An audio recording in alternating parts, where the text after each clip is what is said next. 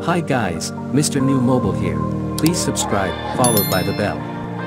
So as we approach to the Google Pixel 6 release date, so Google recently announced that it will be launching Pixel 6 series smartphones on October 19th, and now a German retailer Saturn has revealed the price as well as some major features of the upcoming Pixel 6, the Google Pixel 6 will launch, which lines up with previous leaks seen about the smaller Pixel SXS price.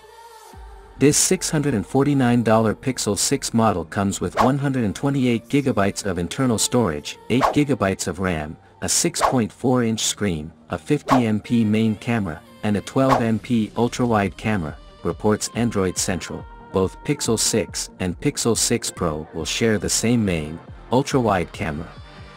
The devices will come with a 50MP Samsung GN1 main camera and a 12MP Sony IMX286 ultra-wide camera. The Pro model will have a 48MP Sony IMX586 telephoto camera sensor with 4x zoom support.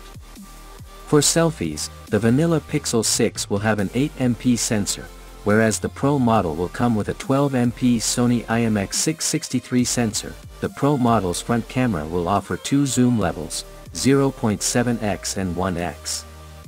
As per the report, the primary camera will likely support 4K video at 60 frames per second with a maximum zoom level at 7x, while recording at either 4K or FHD at 60 frames per second enabled zoom up to 20x.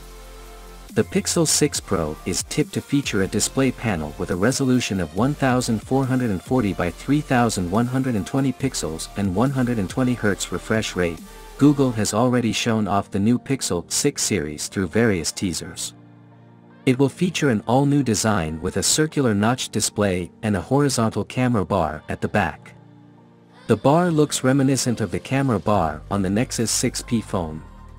The Pixel 6 could arrive with a 6.4-inch FHD Plus display with support for a 90Hz refresh rate, while the Pro version could offer a slightly larger 6.7-inch QHD Plus panel.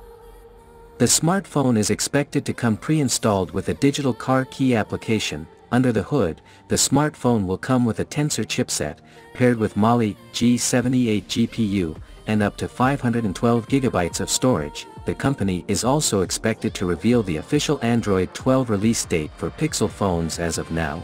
Google has only rolled out Android 12 as AOSP but asserted that the Pixel users will get it in the next few weeks. Well that is it guys, Without been said let me know your thought in the comment below, and please subscribe, like the video, comment thanks for watching see you on my next video, one peace out.